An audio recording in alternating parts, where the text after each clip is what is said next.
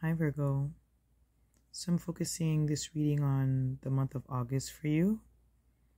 And uh, what are the energies that will highlight most of your month?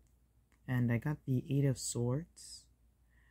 Um, this is this is a card that's all about your mind, you know, the things you're thinking about.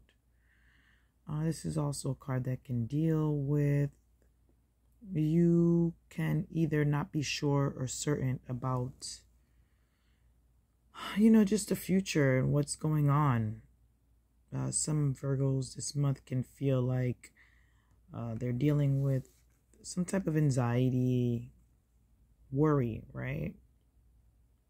Because you're not sure if you are able to really see everything that's in front of you clear. So there could be some some victimization this month, but I would not say like I feel bad for myself. More so like I have a lot of things on my mind that I would really like to let go of because they they cause me to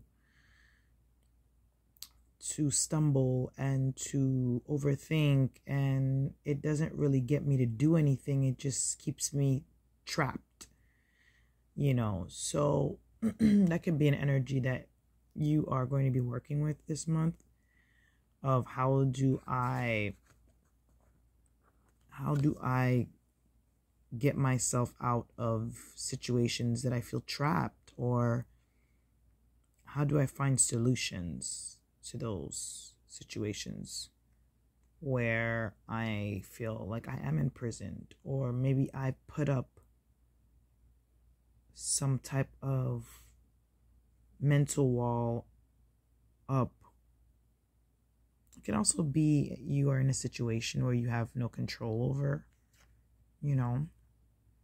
I see that there will be a new moon in your 12th house on the 4th of this month.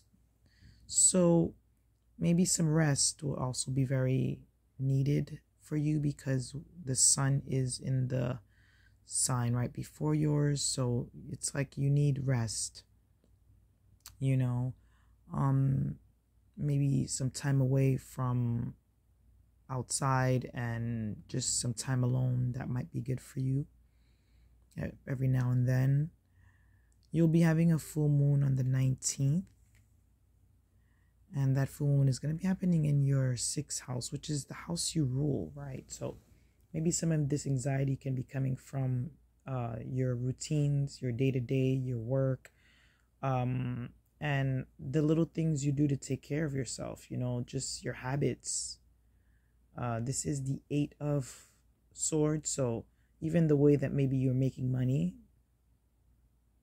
uh, that can also be something you're looking at this month, and how to get yourself unstuck. Okay how to get yourself out of the binds that your mental binds. So it's not like physically you have issues going on, it's more like in your mind. So that's what I see for you this month, Virgo.